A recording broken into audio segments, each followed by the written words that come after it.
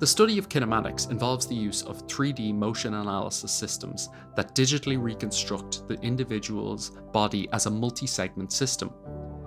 Essentially, this means we can evaluate the specific joint motions involved in the phases and subphases of the gait cycle, with a view to gaining an understanding about how the body achieves the efficiencies of motion alluded to earlier. If you were to view the path of your centre of mass during gait, it would take the shape of a slightly undulating sinusoidal wave. The smoother this wave, the more efficient your gait. And we know, based on the last lecture, why efficiency is such an important driver for natural selection. It frees up energy to grow and reproduce.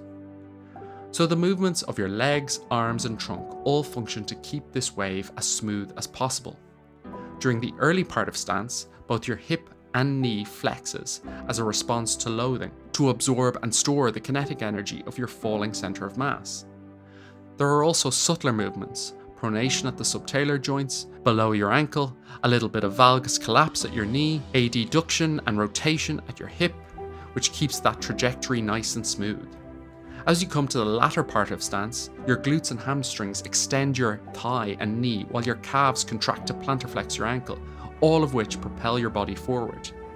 The subtle movements here function to make your extending limb as rigid as possible, so that the force created by your glutes, hamstrings, and calves doesn't go to waste. You supinate your subtalar joint, your knee goes from floppy valgus to firm varus, your hip abducts slightly, all to keep that limb as rigid as possible so that it can transfer the force generated by your muscles to the ground. Once we reach walking gait speeds of around 2.3 to 2.5 meters per second, an important transformation occurs. It becomes more efficient to adopt a new motor pattern running gait. This speed threshold corresponds to the intersection of the cost of transport curves for walking and running in humans. Basically, and in line with what I've been saying about considering gait through a lens of efficiency, we start running when it becomes more efficient to do so than walking. At these higher speeds, running becomes less costly than walking because it exploits a mass spring mechanism that exchanges kinetic potential energy very differently. This spring stretches as the centre of mass falls in the first half of stance, and recoils to help the body push up in the second half of stance, and then into a jump. Unlike in walking, the body's kinetic energy and its potential energy are in phase rather than out of phase.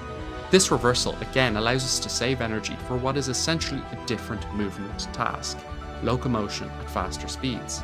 So, to summarize, when you're walking, the key energetic principle that moves you forward involves using your legs like pendulums to exchange potential and kinetic energy. When walking, at least one leg is on the ground at all times. It functions like an upside down pendulum as your body vaults up and over with each step. But the instant you switch to a run, your legs start to function like pogo sticks. Instead of your body's center of mass rising at the start of each step, it falls as you bend your knees hips, and ankles. Flexing these joints stretches tendons, especially the Achilles, in your legs, causing them to store up elastic energy, like springs. Then, during the second half of stance, the same tendons recoil while your muscles also contract, straightening your joints and pushing you up and into the air. And all the while, you lean forward at your torso, bend your elbows, flex your knees more as you swing them, and move your arms asynchronously with your legs.